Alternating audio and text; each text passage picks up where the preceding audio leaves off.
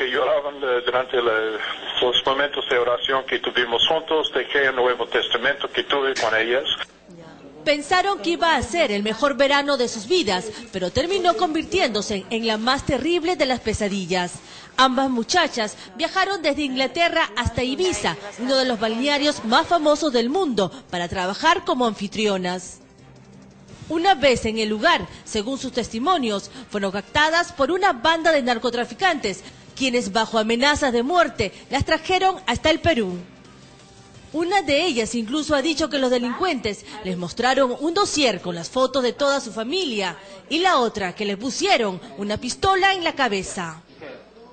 Según información preliminar, las muchachas se alojaron en este hotel Miraflorino, ubicado en la cuadra 3 de Comandante Espinar. Name? What's your nationality? Irish. El 6 de agosto, cuando quisieron abandonar el país, fueron detenidas en el aeropuerto internacional Jorge Chávez.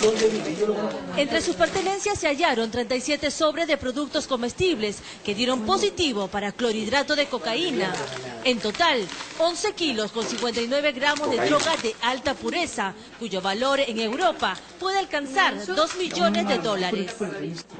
Debido a la gravedad del asunto, pues podrían pasar varios años en la cárcel, los familiares de las muchachas ya llegaron al país.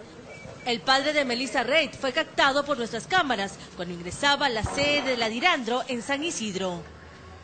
En el interior vivieron un emotivo y angustiante encuentro. El monseñor Sin Walsh es uno de los pocos que ha tenido contacto con las detenidas.